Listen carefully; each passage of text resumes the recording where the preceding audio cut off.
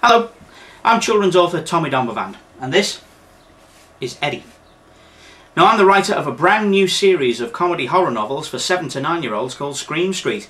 Eddie, unfortunately, hasn't written a word in months. Now, Scream Street tells the story of Luke Watson, who's a perfectly normal boy, apart from one thing, and that is on his 10th birthday, Luke transforms into a werewolf for the first time. Now, no one knows where this comes from. This has never happened to Luke before. It's never happened in his family history before. But before long, Luke and his parents are moved to Scream Street, which is a community for unusual people just like Luke. Luke very quickly fits in. He makes friends with a young vampire called Resus Negative and a young mummy called Cleo Farr, but his parents aren't so lucky. They're terrified of their new neighbours, and so Luke sets out on a quest to find the relics of the six founding fathers of Scream Street with which he can open a doorway and take his parents home.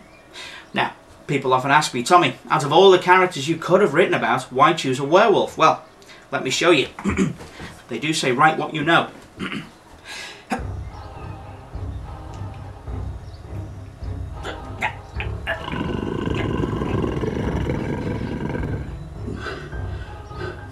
Ta-da!